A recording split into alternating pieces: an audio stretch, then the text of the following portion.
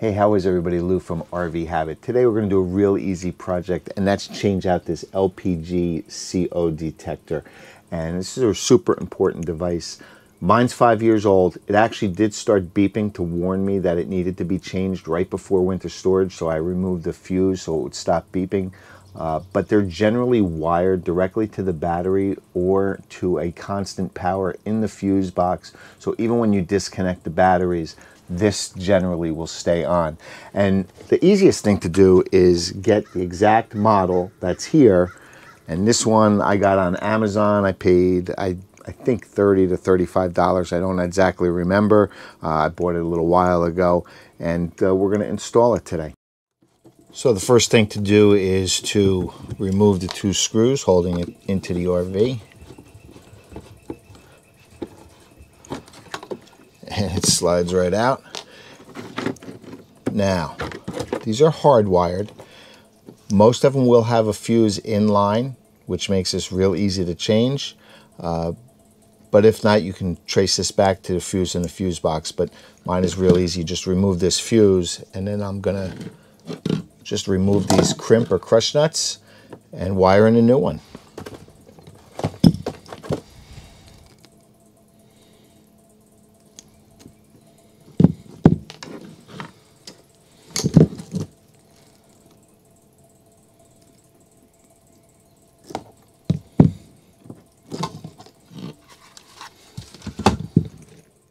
So here's the new one. It's exactly the same as the one I'm removing. It's an LPG and uh, carbon monoxide detector. This one was manufactured in August of 2020, and I probably bought it uh, in October of 2020. So I've had it laying around the house for a while. But they're supposed to be good for five years from the date of install, not from the date of manufacture. So first thing we're going to do is peel back some of these wires because they're really not long enough.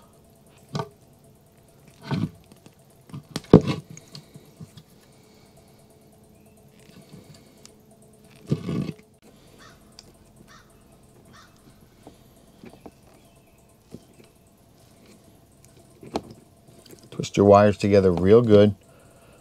Put your nut back on.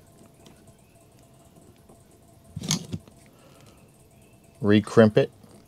And these could be simple wire nuts too. Uh, depends on the RV manufacturer. Give it a tug to make sure it works. And now I'm going to reinstall the fuse, which is a 3 amp fuse on this particular one. Uh, and we should get some power. And before I even install it, the green light is blinking, which means it's setting itself so we can reinstall this. And all you do is push your wires back in. Get them down there so it doesn't interfere.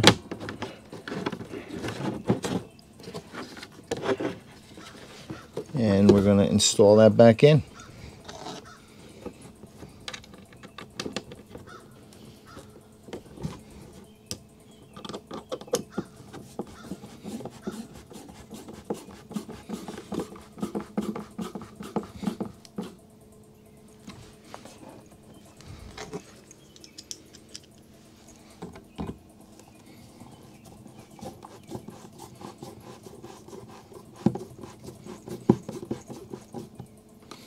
And we'll give it a test.